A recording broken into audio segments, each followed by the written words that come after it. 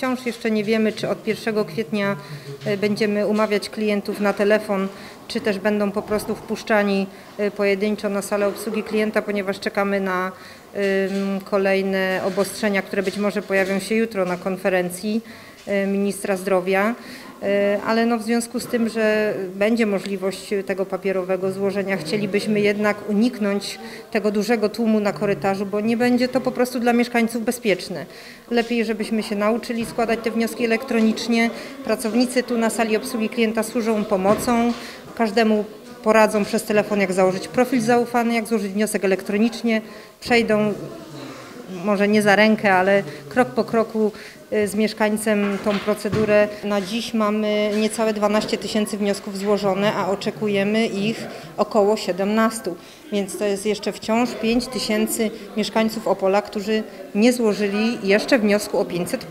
Trzeba złożyć, żeby otrzymać świadczenia tak naprawdę od czerwca, bo ponieważ te obecne, które pobieramy, one są przyznane tylko do maja. O tym trzeba pamiętać. Wnioski można złożyć na trzy różne sposoby. Pierwszy sposób to przez swój bank. Większość banków już, jak wiemy, oferuje e, możliwość złożenia wniosku o 500.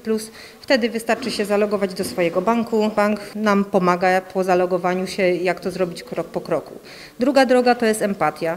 Logujemy się na portal www.empatia.gov.pl. Tam posiadając profil zaufany, co też możemy tu jako pracownicy Miejskiego Centrum pomóc założyć ten profil zaufany mieszkańcom. Krok po kroczku wypełnimy wniosek i mając ten profil zaufany podpiszemy go i wyślemy.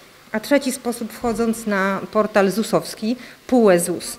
Jeżeli ktoś już korzysta, bo na przykład jest przedsiębiorcą, tam też w rogu jest informacja, że złóż wniosek o 500 i tamtędy też można to prosto zrobić. Zapraszam wszystkich Państwa do złożenia wniosków elektronicznie, ponieważ no, z pewnością jest to o wiele bezpieczniejszy sposób, nie wymaga stania w kolejkach, co w obecnym czasie nie jest bezpieczne.